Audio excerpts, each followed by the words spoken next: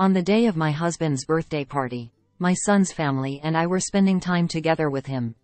Our grandson Michael gave a piece of rolled up drawing paper as a gift. Grandpa, happy birthday. He exclaimed. My husband received, replying, Thank you. My husband loves Michael. We always frame and display the drawings Michael gives us. I was excited to see my husband's reaction to Michael's gift on this special day. With a tender smile, my husband carefully began to unwrap it. However, as soon as he saw the drawing, he crumpled it and threw it aside.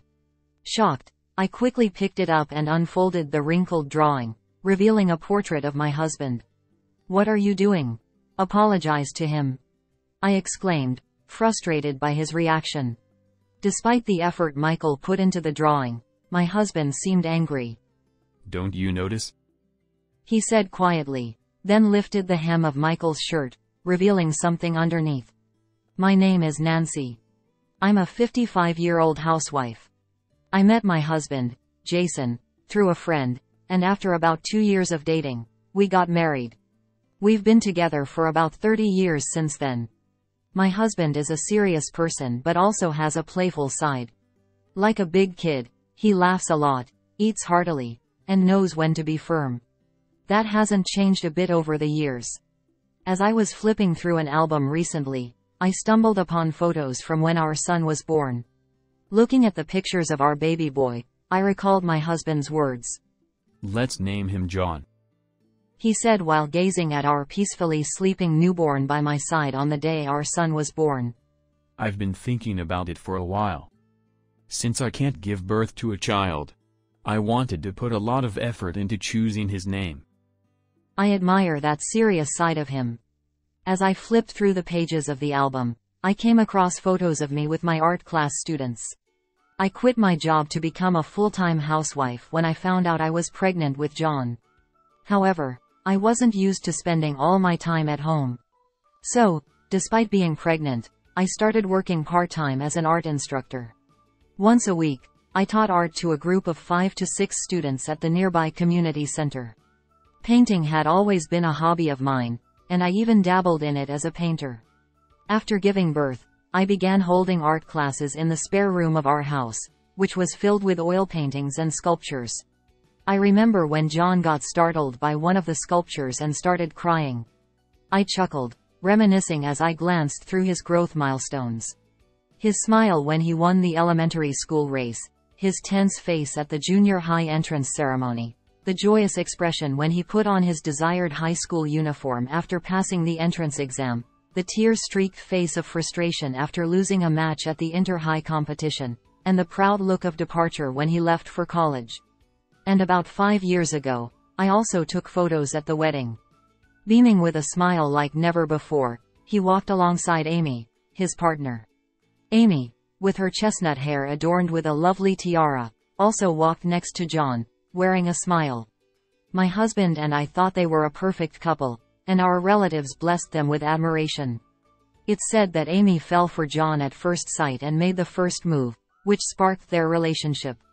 When John introduced her to us, we learned that Amy was more of an athletic type. Amy used to play soccer too. John mentioned. Oh, really? That's surprising. I replied. Amy chuckled. I get that a lot. People are often surprised because I don't seem like I'd be into sports. So you like soccer? The conversation flowed endlessly, discussing favorite teams, positions played, and more. While I'm not well versed in soccer, my husband eagerly engaged in the conversation. Both John and I found ourselves listening on the sidelines, unable to keep up with their lively banter. Before long, a boy was born between them. In the album, there's a photo of my grandson Michael sleeping peacefully, all curled up. Both my husband and I were overjoyed at the arrival of our first grandchild. John and Amy discussed and bought a house, leaving the rented apartment behind. The first time my husband and I met Michael was when we visited their newly built home. Until then, we had only seen him through video calls, but seeing him in person made his cuteness even more apparent. My husband was absolutely smitten. More than I had ever seen him before. He was clearly overjoyed. So cute. Michael. Grandpa loves you. He cooed, sticking out his tongue and making funny faces, to which Michael giggled in response. Um, Jason, do you like children? Amy asked, seeming slightly taken aback, a reaction I couldn't miss. Since Michael started attending kindergarten, Amy also began to return to work. The distance from John and Amy's house to ours is about an hour by car. The two working parents would often drop off Michael at our place on days when there was no kindergarten. Sorry for the inconvenience. Amy said apologetically, impeccably dressed in her suit and with her business makeup on. It's fine, my husband enjoys spending time with him, I reassured her.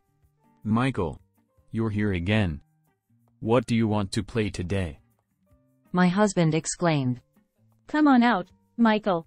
Grandpa is ready to play. Amy urged him, seeming to sense his shyness. At first, Michael seemed a bit shy, hiding behind Amy. However, drawn in by my husband's playful nature, he gradually warmed up and began to play more freely. He wandered around the house, exploring every nook and cranny. While my husband briefly looked away, Michael wandered into the art classroom. It happened to be the day when students were starting to gather, one by one. Michael, what's wrong? I asked. Weird face. Michael pointed towards me. I was momentarily surprised, but he was referring to the still life sculpture I was holding. Oh, this thing. I chuckled. Surrounded by the gathering students, Michael became shy again and quickly left the room as if to escape. You have a cute grandson. As the students jokingly commented on my grandson's cuteness, we continued with the still life drawing for the day and eventually wrapped up the class. While tidying up the classroom, Michael returned once again. He looked embarrassed as he peeked from behind the door, glancing over at me. What's up? I asked, and hesitantly, he replied. I came to see the weird face. It seemed he was referring to the still life sculpture from earlier. I retrieved it from its original spot on the shelf and brought it down to Michael's eye level. He touched it curiously, marveling at it with an amazed. Wow. Then, he began sketching something with the sketchbook and marker he had brought along. It vaguely resembled the still life sculpture. Could it be? Michael, do you like drawing? I asked. Yeah. I like it. He murmured quietly, completely engrossed in his drawing. Since then, whenever I took care of Michael, I mostly brought him to this room. Of course, my husband felt lonely without us. He loved playing with Michael, but he wasn't particularly interested in drawing. It's great to have hobbies. Maybe he'll become a great artist in the future. My husband said, as he framed and displayed Michael's doodles scattered around the room. Michael kept drawing the still life sculpture until he got tired of it. There weren't many students as enthusiastic as him. Michael, why don't you try using this color here? I suggested, and Michael eagerly applied the crayon in that color. As the lively still life sculpture emerged, he was amazed and his eyes sparkled with excitement. We continued like this, but Amy wasn't pleased with it. Michael, did you dirty your hands with crayons again? They're even on your clothes.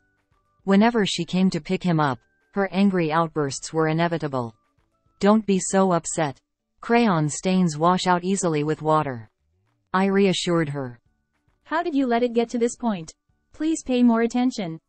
Amy's anger wasn't solely because of this. As someone who loved soccer, she wanted Michael to play soccer too. That's why she didn't like me teaching him art. He's always drawing at home. It's because of you. Amy, that's not true. It's Michael's personality. No, it's because of you. That's why he can't get good at soccer. With frustration, Amy angrily took Michael's hand and left. Michael goes to the soccer club twice a week, accompanied by Amy. Recently, it seems he didn't perform well on the shooting practice test. She misunderstands that it's my fault Michael's soccer performance isn't improving. Everyone has their own strengths and weaknesses. Amy has a talent for soccer, while Michael has a talent for drawing. These talents should be respected, but it seems Amy isn't being acknowledged. It's quite difficult. Amy will understand someday. Despite her husband's words, Amy's insistence on soccer for Michael only increased. One rainy day when Michael came home, he looked tired and sleepy. I asked what was wrong, as he's usually full of energy. I did workouts. So I'm tired. Workouts? Apparently, besides club practice, Amy told him to do extra workouts at home. But if I refuse, Mom says it's not good. So you're doing it reluctantly. No wonder your performance isn't improving. Clearly disheartened, Michael nodded weakly. I decided to tell John about this. He was surprised and said, What? I heard from Amy that Michael practices on his own because he loves soccer. After that call, John started to watch Amy more carefully. Amy isn't scolding Michael to make him do workouts, but she seems to be pushing him towards self-practice with a stern tone. Hurry up. Do 20 sit-ups and 20 push-ups each. John witnessed Michael gritting his teeth to endure it. Amy, he's already doing it at the club, so why make him do it at home? Upon this remark, Amy raised her voice sharply. Consistency is crucial for this. But Michael looks really miserable. Of course workouts are tough. You, as an amateur, shouldn't butt in. John became timid in the face of Amy's aggression. Despite persistently advising afterward, he was eventually ignored. Continuing this, John finally sought my help. I feel like I'm banging my head against a brick wall. I said. Despite thinking so, I told Amy to stop forcing Michael to do workouts. Nancy, mind your own business. She said with a sharp tone, and from then on, she ignored anything I said. It seemed like she disliked me even more, and she never left Michael with me anymore. But then, when both of them had work and kindergarten was closed, Michael would be left alone at home. It's dangerous to leave a five-year-old alone at home. John seemed to have advised Amy about this. Hey, Amy. Maybe it's better to leave him with mom on days like this, don't you think? Leave him with Nancy? Are you kidding me? Amy adamantly refused. But John seemed uneasy. He wanted to hear my opinion too. It's indeed risky leaving Michael alone at home. When I said that, John seemed pleased as punch. You're right. Then, can we secretly leave Michael with mom? I don't mind, but if they secretly left Michael with me, it would create secrets between John and Amy. Thinking about it, I didn't feel right. But meeting my grandson was a joy, and when we drew pictures together, I forgot all about it. One sunny Saturday, while I was drawing with Michael, Amy called. Michael, he's with you, right? What? I couldn't hide my surprise. How did she know? John has been acting strange lately, so I checked his phone. At first, she thought he might be cheating, but that wasn't the case. I found messages with Nancy. Something about leaving Michael or something. Leaving Michael alone is dangerous. I tried desperately to explain, but Amy wouldn't listen. I'll give John a piece of my mind when he gets back. Just stay out of our business. She hung up abruptly, leaving me frustrated. I never imagined we'd end up in such a situation with my daughter-in-law. How long will this situation last? It felt like wandering around searching for an invisible exit. Despite Amy continuing to be harsh with John, he still brought Michael home without hesitation. I get it now. Michael prefers drawing to soccer. A determination to protect what's important shone in his eyes. Seeing that, I felt a surge of courage in my heart too. I decided to focus on nurturing Michael's individuality. That's when I started to feel hopeful again. Several months had passed, and it was the time when many flowers were in bloom, marking my husband's birthday. On this day, as usual, I lined up my husband's favorite dishes on the table and invited the John family to celebrate. It feels a bit lonely just the two of us, doesn't it? It's better with more people after all. I remarked. When the Johns arrived on time, the party began. As we chatted about recent events and enjoyed the food, I noticed Michael's demeanor. He was fidgeting and hiding something behind him, like a piece of drawing paper. Michael, did you bring a present for Grandpa today? Amy said cheerfully, encouraging him. Come on, be brave. Go ahead and give it to him. She urged. However, Michael seemed embarrassed, fidgeting and looking down. So my husband gently approached him, as if offering a helping hand. Did you draw something? Would you like to show it to Grandpa? He asked softly.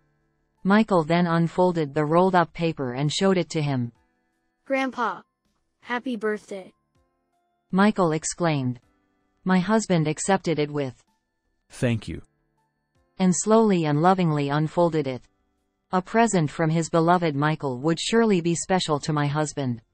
Just as I was curious about what was drawn, and leaned in to take a peek, my husband, upon seeing the picture, crumpled it up instantly. Then, trembling, he crumpled it up even more and tossed it aside. Hey, what's going on? I quickly picked it up and unfolded the crumpled picture. It appeared to be a portrait of my husband. What are you doing? Apologize. I lashed out in anger, despite his likely sincere efforts in drawing it. Even Michael must have drawn it with my husband in mind, so why? Unfazed, my husband just stared at me. He has a habit of staring silently when he's quietly angry. Don't you notice? He said as he grabbed the hem of Michael's clothes and swiftly lifted it right there. Whoa. Michael was startled, nearly falling backward, but managed to hold himself. Underneath the lifted clothing were several small blue bruises. Huh. What's this? I looked at my husband. He gestured towards the paper with his chin, urging me to look. On the paper was a portrait of my husband. However, upon closer inspection, the mole's position and the shape of the nose were subtly different. There were also blue spots-like marks on the lower part of the body below the portrait. Moreover, in the corner of the paper, the words, help me, were drawn small. I had a terrible feeling. Could those blue marks represent bruises on Michael's body? Was someone being harmed by being forced to draw portraits? As this thought crossed my mind, I looked at my husband, who nodded deeply. It seemed he was thinking the same thing. Someone was harming our grandson. Feeling the danger to our beloved grandson, my husband crumpled the picture in anger. Why on earth? As my husband trembled with anger, John, puzzled, approached. Mom, Dad, what's going on? When John came and saw Michael, he was shocked by his pitiful appearance. Michael, what happened to those bruises? I must have looked pale. With a sinking feeling, I showed John the drawing Michael had made. John was also surprised. This isn't Dad. And he raised his voice. What's the meaning of this? Tell the truth. Michael was startled and burst into tears. Seeing this, Amy rushed over, holding Michael protectively. Stop it. These bruises are from soccer practice. Mom? You're lying. For the first time, Michael rejected Amy and pulled away from her grasp. Mom and the teacher. They bullied me. John, my husband, and I were all confused. The portrait? I don't even know that person. Mom made me do it. With each word, Michael cried harder. Amy looked flustered, Um, well, and she started to speak. Meanwhile, Michael confessed everything. Amy instructed to draw a portrait of Grandpa for the birthday party. However, the person in the photo she showed Michael was an unfamiliar man. Despite refusing to draw it, she was told to draw the portrait of that person. Michael was convinced it was the new grandpa and was ordered to present it to my husband at today's birthday party. After hearing everything, the gaze of me, my husband, and John all turned to Amy, demanding an explanation. As she realized that everyone there was on Michael's side, she sighed in resignation. I found someone to be Michael's new father. I wanted Michael to see him as his dad. Him? So, you were cheating? We were already planning to be together. She spoke matter-of-factly, with a wicked smirk on her face. Amy said she deeply resented the fact that my husband and I were meeting Michael. She thought we were taking him away from her. You two spoil Michael. I thought it would hurt if he rejected you. She intended to brainwash Michael into thinking her new boyfriend was his father. And she wanted to see us hurt by Michael's rejection, laughing at our pain. If Michael rejected us on his own, she could blame it on him. And she planned to use that as an excuse to file for divorce. However, Michael didn't accept Amy's boyfriend as much as Amy had hoped. This came as a surprise to Amy herself. So, this plan is a failure. Michael is really no good. Amy glared at Michael, then stormed out. Only John followed her. Amy, wait. What's going on? Getting together with your boyfriend. But a few minutes later, John returned with drooped shoulders. Amy jumped into a passing taxi and drove off. Later, a message arrived on John's smartphone, saying, Heading back home. With just that message, he turned back. Well then. Let's contact her parents over there and have them keep an eye on Amy. The husband suggested, to which John nodded silently in agreement. A few days later. It was unusually warm for this time of year, a day that could be called an Indian summer day when we invited Amy over to discuss matters. The four of us, my husband John, Amy, and I, gathered in the living room. Take a look at this. John said, tossing an envelope containing documents onto the table. John had hired a detective agency to investigate Amy.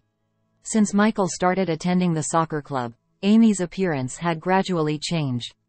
At first, he didn't pay much attention. However, he became suspicious when she started going to the beauty salon frequently and changing her makeup. What was even more conclusive was when he accidentally stumbled upon her exchanges on her smartphone. Furthermore, the person she was corresponding with was not a friend or acquaintance. He was a completely unknown man. I was shaken by the messages. Want to meet again, like you, all with heart emojis. John said, with a detached tone. Looking at the results of the investigation, the person turned out to be a male coach from the soccer club. Amy didn't seem inclined to hide it, quietly staring at the documents. I was planning to tell you after Dad's birthday party. John spoke calmly, but like my husband, he was quietly angry. I regret not bringing it up sooner. Amy said nothing. After she ran off, we took Michael to the hospital to have his bruises examined. He had blue and red bruises, and he said they hurt. Upon hearing this, the doctor wondered. There's a possibility that he was being hit regularly in his daily life. Was he being hit every time he went to the club twice a week? Or was Amy hitting him while he practiced at home? Michael remained silent, his lips sealed. Amy, were you silencing him? I would never do such a thing. Bullying Michael while having an affair elsewhere. I misjudged you. I just needed some time for myself. That's why. Don't give me that nonsense. John reprimanded her, and he handed her a green paper. Divorce. Write this and leave. Fine, whatever. Without hesitation, Amy wrote her name. At that moment, the sound of a car pulling up outside could be heard. Amy looked puzzled, but when I ushered them inside, her expression froze. Why? Why are mom and dad here? Arrangements have been made for you to be handed over to your parents. Before Amy could say anything, she was dragged out by her parents. All that remained was the sound of the car driving away. The next day, John submitted the divorce papers to the city hall, and they were accepted without issue. Then, with the help of an acquaintance who recommended a lawyer, he pursued compensation from Amy and her affair partner. After paying the compensation, Amy found it difficult to continue working at her company due to the affair being exposed internally, so she resigned. Her affair partner faced more consequences than just paying compensation.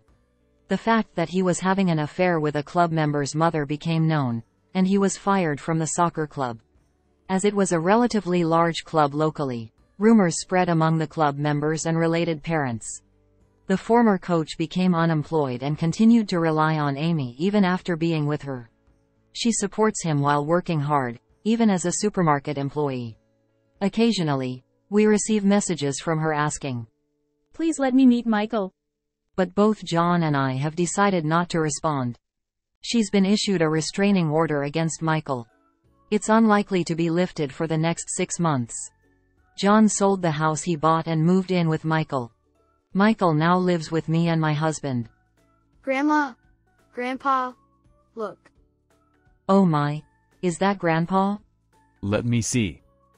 Michael proudly showed us the finished painting. It depicted a large smiling face of my husband. The mole's position and the shape of the nose were identical to his. You've done a great job.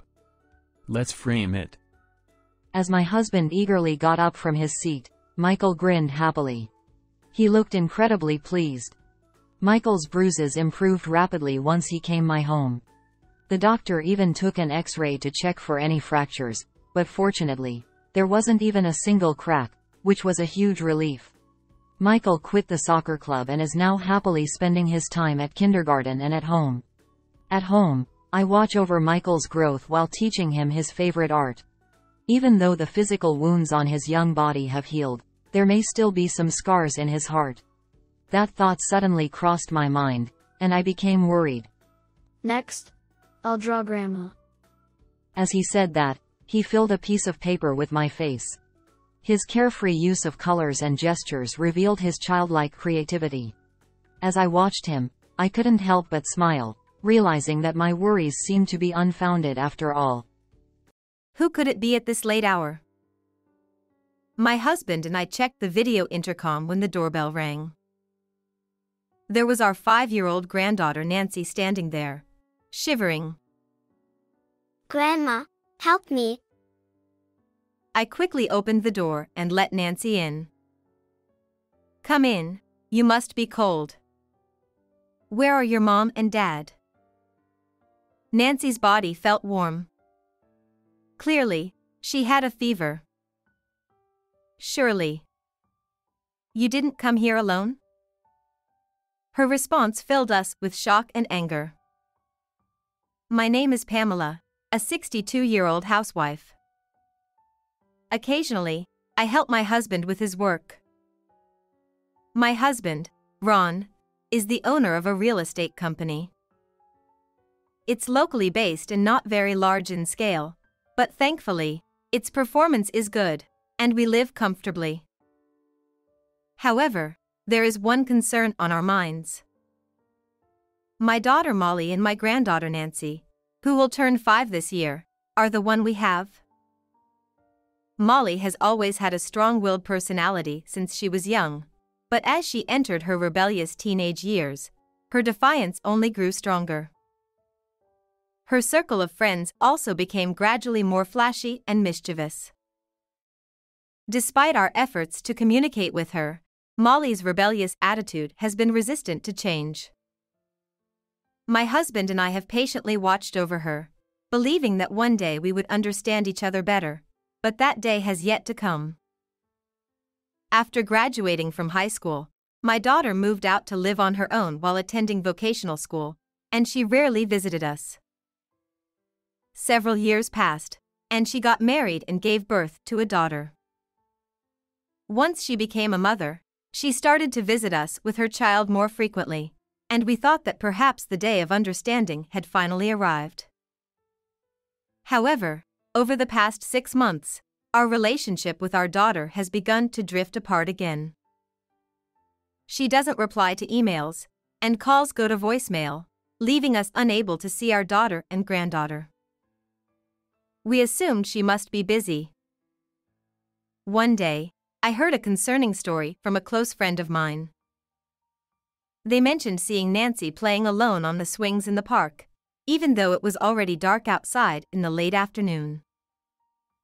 Considering that it's not typical for a small child to play alone at that time and that there were no apparent adults around, it raised serious concerns. After hearing this, I couldn't shake off my worries so I immediately called my daughter, but it went to voicemail as usual. Unable to sit still with worry, I decided to visit my daughter's home impulsively. My daughter, her husband Andy, and my granddaughter live in an apartment about a 15 minute drive from my home. She had been a stay at home mom ever since she became pregnant with my granddaughter, so I figured she'd be home on a weekday morning. However, there was no response when I pressed the intercom. When I rang it again, I got a response in an irritated tone Yes. As soon as she realized it was me, my daughter responded with a flustered tone. Huh. Mom? If you were coming, you should have called first. I called several times. You didn't reply to messages, and I couldn't reach you, so I came over. Can we talk for a bit? The house is really messy right now, so I'd rather you didn't come in. Besides, Nancy isn't feeling well and she's resting. It seemed my daughter really didn't want me to come up. Let's talk in the small park in front of the apartment building. Just for about 10 minutes. Reluctantly, my daughter agreed, and we ended up sitting on a bench in the small park in front of the apartment building to talk. Just showing up without any notice. What's the deal? It's incredibly rude. My daughter started speaking with an irritated tone. I've tried to contact you multiple times. I called you many times.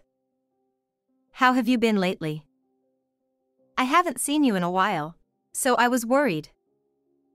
Also, there's something bothering me that I want to ask you about. I told her the story I heard from a friend about seeing a child look like my granddaughter alone at the park. That person must have been mistaken. I wouldn't let her wander around alone at such a late hour.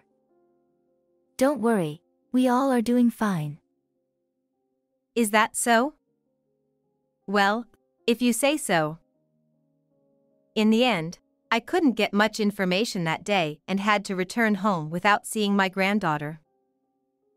A week later, I heard something concerning from my husband. Apparently, during a real estate industry gathering he attended, he bumped into a friend of 20 years who has been running a construction company. During their conversation about their respective companies, it came up that there's an employee at the friend's company whose work attitude seems to be lacking. Apparently, this employee is always talking about slot machines instead of focusing on work. If it were just casual hobby talk, I might overlook it, but it seems he's also borrowing money from colleagues. And you know what? The more I heard about it, the more it sounded like it might be Andy. The name and description match up too well to be him. Andy is my daughter's husband. He and my daughter were high school classmates, and they've been dating since then, belonging to a rambunctious group of friends. After graduating high school, Andy worked various jobs before joining his current company. I couldn't bring myself to say, that guy might be our son in law. Yeah, you're right. Hey, I think I'll visit Molly again. I've been worried about Nancy's condition since the other day, and it's been a while since I've seen her. My husband seemed equally concerned about how our daughter's family was doing and if our granddaughter was well. We decided to visit our daughter's house again the following Saturday to check on things. And on Friday night. Since we were planning to head to our daughter's house early the next morning, my husband and I went to bed a little earlier. After falling asleep for a while, we were awakened by the sound of the doorbell. Who could it be at this hour? My husband and I checked the video intercom, feeling cautious. Nancy. To our surprise, there was our granddaughter Nancy standing there shivering. Grandma, please help me. I quickly opened the door and welcomed Nancy inside. Come in, it must be cold outside. Where are your mom and dad? Nancy's body felt unusually hot in my arms. When I touched her forehead, it was clear she had a fever. What are you doing here at this hour? Did you come alone? I carried Nancy back to the living room. She was breathing heavily, perhaps due to the high fever. Most shocking of all was that she appeared much thinner than when we last saw her six months ago. I quickly fetched a blanket. In the living room, my husband was giving Nancy some hot milk. After laying her down on the sofa and wrapping her in a thick blanket, Nancy seemed to calm down a bit. I asked Nancy, What are you doing out here at this hour? How did you come here all alone? Mommy and Daddy went shopping. Mommy told Nancy to stay in bed because I caught a cold. After that, my granddaughter slowly opened up and shared her story. Despite the darkness outside, her parents didn't return, leaving her feeling lonely and hungry without any food. Feeling overwhelmingly vulnerable, she decided to walk to her grandparents' house, despite the late hour. She walked alone for what would have taken adults at least an hour, all while feeling unwell from her cold and overwhelmed by her emotions. Hearing her story, my heart felt heavy. We decided to take Nancy to the emergency hospital that night. The doctor diagnosed her with a high fever due to a cold and slight malnutrition, and she needed to receive intravenous fluids. As I watched my granddaughter sleep while receiving the four, tears welled up in my eyes. At the same time, I couldn't contain my anger towards my daughter and her husband for treating her like this. My husband seemed to share the same feeling. I stayed by my granddaughter's side the whole time, but after a while, my husband returned with our daughter and her husband. They were drinking with their gambling buddies at a nearby pub. After dropping off my granddaughter and me at the hospital, he went around the nearby pubs to look for them. Finally, on the fifth try at a pub, he found our daughter and son in law drinking with their friends. Apparently, even their friends were shocked to learn that they had left their young daughter alone. In a move to assist my husband, they forcibly brought our daughter and son in law to the hospital. They must have been scolded quite severely by my husband in the car. Both of them looked quite awkward. Do you two realize what you've done? Be honest and tell us everything you've done so far. Unable to bear it, I questioned them sternly, and they began to confess everything they had done. Every weekend, they would go to the slots and leave Nancy alone until late at night. And when they were lucky enough to win, they would gather their friends and go out drinking until the early hours, just like today. Surprisingly, they basically neglected Nancy, sometimes even serving her ready made meals or, at worst, not providing her with any food at all. I couldn't hold my anger any longer. I will report you to the police. You're aware that what you're doing is wrong, right? That's why you stopped visiting us and refused to let me visit you. If things continue like this, you'll just keep repeating the same mistakes. What are you talking about? Involving the police is too extreme. Don't you love your own daughter? We also have a responsibility for raising you like this. Because you're our daughter, we will make sure you reflect on your actions properly.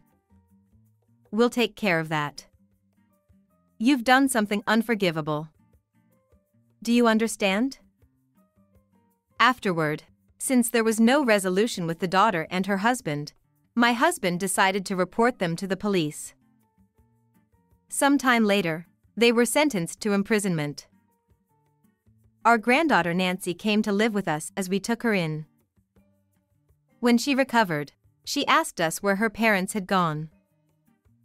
We couldn't hide it from her, so we decided to tell her the truth. You see, Mommy and Daddy did something very wrong to Nancy. They have to say sorry in another place for a while. So, until Mommy and Daddy come back, let's live together at Grandma and Grandpa's house, okay? Nancy listened quietly with her head down. Perhaps she understood in her own way, as she began to cry quietly, and I hugged her. It's okay, we'll be fine. Let's live happily together with Grandma and Grandpa from now on. I promise, Nancy, we won't let you feel sad.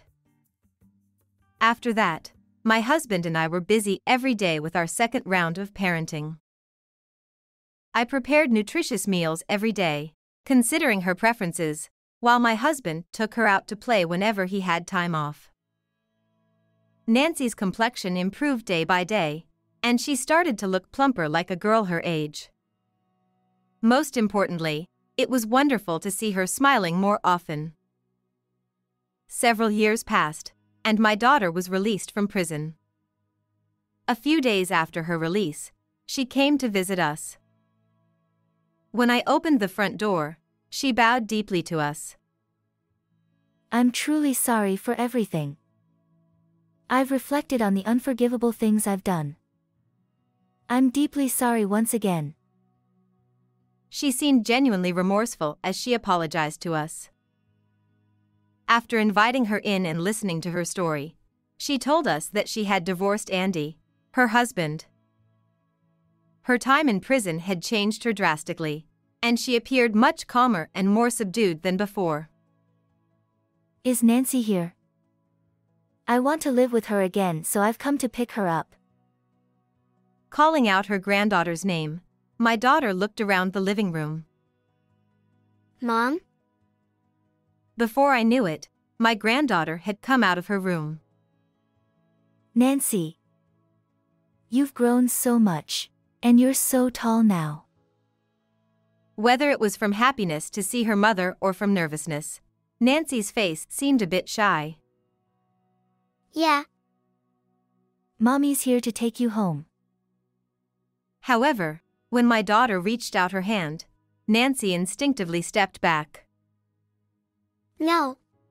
I want to stay with Grandma and Grandpa. Mommy will make lots of your favorite food, Nancy. When I was little and hungry, Mommy didn't cook for me. Grandma cooks a lot for me. And on days off, Grandpa plays with me a lot. I don't want to feel hungry and lonely like before. As she spoke, Nancy shed tears. Nancy, let's go back to your room. My husband took crying Nancy back to her room. Wait, I won't make you feel that way anymore. In the end, my daughter couldn't go home with Nancy that day. It was inevitable, but seeing my daughter leaving in tears was very painful. Afterwards, my daughter rented a small apartment and started living on her own. She works in a warehouse, which is physically demanding and quite challenging. It's still early days, but my husband and I have decided not to give up on her and watch over her. She always hands over child support every month without fail. Seeing her like this, it seems she has truly turned over a new leaf. And whenever she meets me, she always asks about Nancy. I told my daughter this. Even though Nancy was young, she hasn't forgotten what happened to her. When Nancy grows up more, maybe the day will come when she can forgive you. Until then, all you can do is keep your distance and watch over her. My daughter nodded tearfully at my words. Nancy is growing up healthy and thriving. It seems she has made many friends at school and she tells us about her day at the dinner table every day. Hearing such stories brings me immense happiness. Though I feel bad for my daughter, I can't help but wish for days like these to continue. But I hope that someday Nancy will be able to forgive her mother. And when that day comes, I wish for my daughter and granddaughter to live together as a family again.